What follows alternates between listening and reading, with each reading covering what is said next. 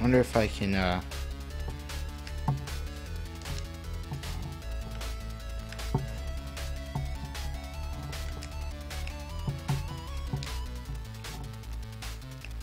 Pandas.